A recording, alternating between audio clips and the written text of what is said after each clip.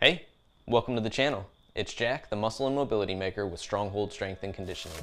And today, I'm taking you through a quick bench press warm up that'll help get you prepped for the next time you're under the bar. But before we get into it, let's take a moment and hit that subscribe button so that you don't miss out on future content like this. Every Saturday, I'm putting out videos showing you how to resolve aches and pains, prevent injuries, and overall optimize your performance inside the gym and outside of it in your daily life and routine, and it doesn't get better than that. So take advantage of it. Ready?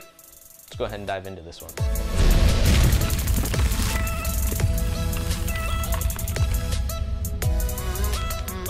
All right, like I said, today I'm gonna be taking you through a quick bench press prep or warm up routine that you can use right before you're getting under that bar so that you can be prepped in all those major areas that we really want working at their fullest capacity. So the hips, the spinal column, and the shoulders overall. We're gonna be looking at your hips ability to externally rotate and stabilize the pelvis.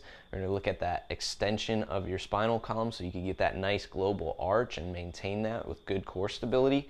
And then we're gonna be looking at your shoulder internal rotation, making sure that your scapula aren't getting pulled out of position and they can maintain their stability as well. So we'll take you through those positions, show you a few stability exercises that you can use, and you'll be ready to jump under that bar for your bench press. Ready? Let's go ahead and dive into it. All right, the first thing we're going to address is your thoracic spinal column.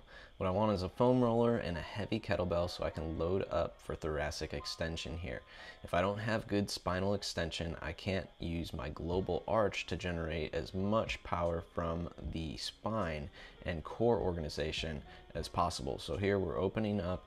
I want to start with a pressure wave and I'm just going to roll the length of the spine there through the thoracic spine to see if there's any kinks that want to work their way out. If there's any points that do feel kind of sticky, what I'm going to do is pause over those, keep my abs braced, and then arch back with the weight on my sternum as I extend over that roller.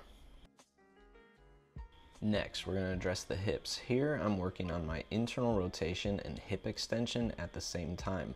It's important that I keep my knee stacked over my ankle as I extend my hip here. So I really want to try and keep my knee over the ankle from caving inward. And that's going to get my glutes to engage really well as I drive that hip up each time here. Now the band is helping place that hip in a good position in the socket. So it's actually pulling downward. I have my other foot pushing off post to give myself some extra tension there. And then I'm working it through that internal rotation, helping pull tight to my body and then bridging up from that point.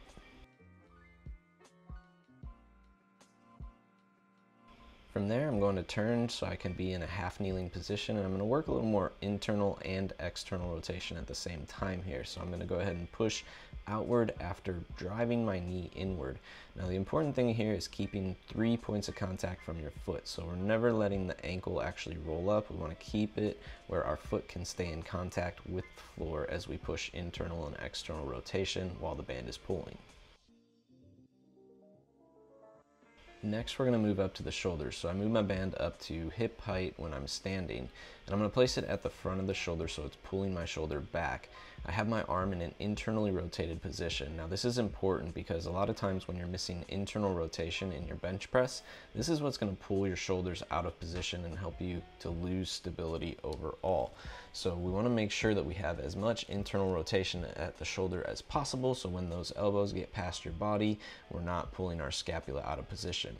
So at first I was letting it just pull me. Now I'm gonna add some rolls in that position in both directions and you'll just see that I'm working that scapula through both directions there.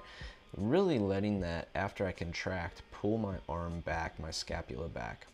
Next, I'm going to move it to the elbow to bring it a little bit further back behind my body and really pull into that extension. This might pull at that anterior deltoid, that pec insertion, the biceps there at the front of the shoulder. So depending on how tight those tissues are, you might notice this one a little bit more depending on where your shoulder mobility is currently. You can see I'm using my free hand to actually pin that arm behind my back in that position and help anchor it. Now lastly, I'm going to take both hands inside the band. I'm going to internally rotate with the arms fully extended. I want my glutes to engage here and I'm letting the band pull me into that global arch. So this is a little bit of thoracic, that global extension of the spine I should say, as well as internal rotation of the shoulder at the same time.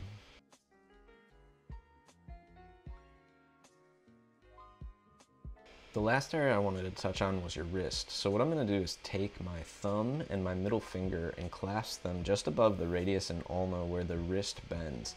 What I want to do is squeeze so hard that it actually creates space between my carpals and those bones at my radius and ulna there.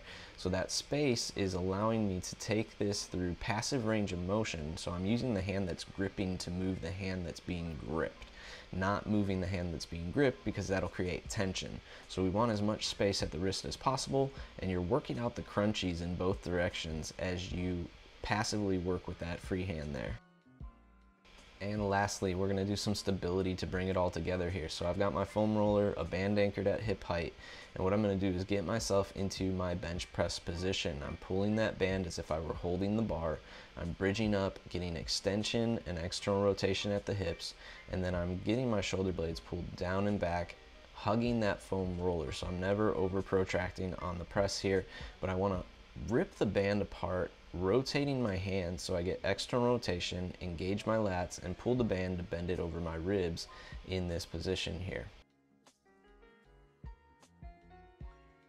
And lastly, bottoms up kettlebell press from the foam roller as well. This is gonna get a lot of great core engagement going on, as well as working your shoulder through its full range of motion. So lots of tension here through your legs, holding lots of stability. See if you could tap your elbow all the way to that floor down by your obliques there, and then press back up. The whole point here is maintaining tension. It's not about fatiguing yourself either, it's about activation. So we wanna make sure that we feel the muscles that should be working and engaging, engaging and working prior to actually going into our lifts. So these might be some of the most important pieces that'll actually hit the save button on all that mobility work that we just did prior to this. So bring it all together with that stability work and finish out strong going into your bench, not fatigued, just enough to feel that activation and then go from there.